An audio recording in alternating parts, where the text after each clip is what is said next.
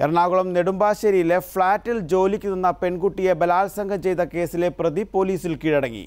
കരിയാട് സ്വദേശി ശ്രീകുമാറാണ് കീഴടങ്ങിയത്. കഴിഞ്ഞ മെയ് മാസത്തിൽ പരാതി ഉയർന്നതിന് പിന്നാലെ ഒളിവിൽ പോയ പ്രതിയുടെ മുൻകൂർ ജാമ്യാപേക്ഷ ഹൈക്കോടതി തള്ളിയിരുന്നു.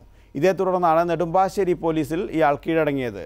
അറസ്റ്റ് രേഖപ്പെടുത്തിയ ശേഷം പ്രതിയെ നാളെ അങ്കമാലി കോടതിയിൽ ഹാജരാക്കുമെന്ന് പോലീസ് അറിയിച്ചു.